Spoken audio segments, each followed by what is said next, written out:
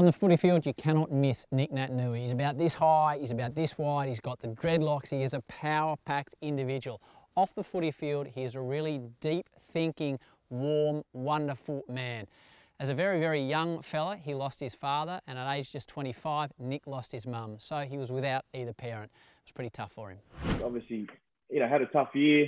Um, I'd lost my cousin at the start of the year and, and had to go and bury him. And then I lost my mum, um, you know, just on the eve of the final. So I had to fly home to Fiji for, you know, a couple of weeks and, and, and go through that process and then come home.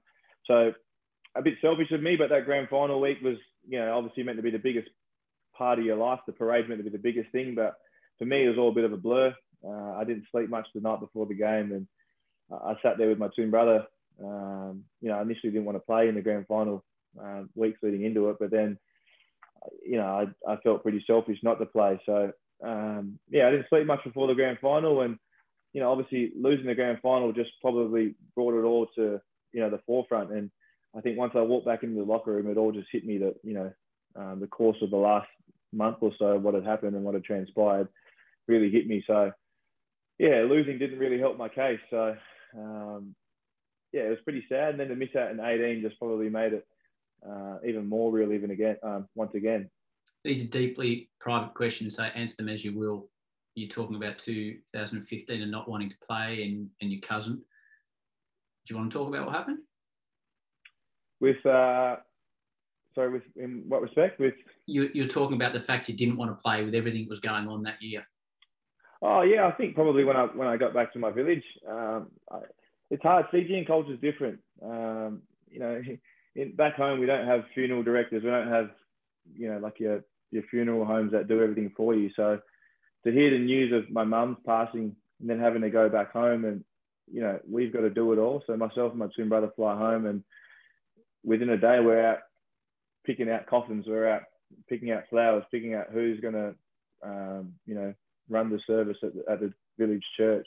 Um, things like that. You know, going to the morgue, having to having to address your parents is, is, a, is a hard thing. Um, you know, there's there's people that do it here for you um, mm-hmm. in Australia, and for me, culturally, that's just what what you do and how it's done. And um, it was hard. It's, it was it's always been eye opening for me, and it's been a pretty big uh, big thing for me having to do that with you know friends or family members um, in Fiji. But when it's your when it's your mum, it's probably hits home a little different, and it hit home pretty hard that time. And yeah, but I just remember sitting back home in, in the village after it all happened, and and after the funeral was done and the dust had settled, and I kind of didn't want to come home. I thought, well, what's the point of playing footy? I guess uh, everyone has their reason why they play footy, and for me, you know, most of my reasoning why was for my mum, and whether it was to to you know, make her not have to work three jobs anymore and get her a house or mm. um, help support her or um, to make her proud. That was that were my biggest, I guess, drivers. And to not have her around anymore, I sort of thought,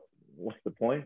And yeah, it wasn't until one of my uncles sat me down in in our family home over there and said, you know, kind of don't waste your time here, otherwise you end up, you know, climbing coconut trees and picking banana leaves, not doing much. So go and make something of your life, go and make something of your career. Uh, they don't really understand footy. They said, "Oh, you've got a couple of games left," but they didn't realise that we have finals and we have a chance to, to make a grand final, which we ended up doing. Um, so I just, yeah, I had a realization I had to come back. I had to, I guess, like, what do you say? Grow up, man up, like just get on with the job. So for me, uh, I did that pretty quickly. Uh, but yeah, I'm human. I think it all hit me, like I said, at the end of that game.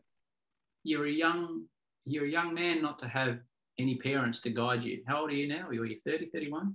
I'm 30 now, yeah. yeah. yeah. So I was 20, 25 at the time. And that, that's always been the hard part for me. I think the realization, like I've always had my, my struggles and my troubles over the years. And, you know, I keep a lot of it pretty private, but people don't understand being 25 in a, in a foreign country um, with no family. You know, it was just me and my, and my twin brother over here trying to navigate the world. Like people see you at the highs, the highs, and they go, Nic's got a nice car, a nice house. He's at the West Coast Eagles. He's you know, he lives the life, but I always found it hard being 25 years old, walking over the change rooms after games, and all, all the boys are sitting there with their families, um, you know, talking about the win or talking about this, and I'd go home and stare at my four walls. Um, that was always tough. Um, you know, I try to ring home sometimes after games, but they're five hours ahead back in Fiji, so that was always tough for me, and it was yeah, I guess being 25 and not having anyone was um, probably the hardest part. Yeah, and people probably didn't realise that at the time. People didn't see that. Um, and then you don't play good footy at times, and people bag you, and that's probably when those things start to hurt more because you kind of sit there and go, you don't know what I'm going through. You don't know what my life entails or what I deal with on a daily basis. I can't go out and get a coffee down the road without someone harassing me or going to fill up my car. So, um, yeah, it does feel lonely at times, and you do feel pretty secluded and like you are on your own. But oh, I just find ways to get through. Like I'm like, I got two feet and a heartbeat. And I'm not dead. Like, stop whinging, stop crying, get something out of it. You're already sad and upset. Like, get something from it. So that's always been my mindset. Hey guys, Howie here. Thank you so much for watching the Howie Games YouTube channel. We really appreciate it. Hope you enjoyed it. Hope you watch plenty more clips. Now, if you want to get the full podcast from the clip you've just heard, you can see the full link on the description. If you want to subscribe to the Howie Games YouTube channel, which we would love, just click on the button below. And if you want to see more content from the Howie Games, over to your right, all the clips are there. Thank you once again so much. And as always, peace and love.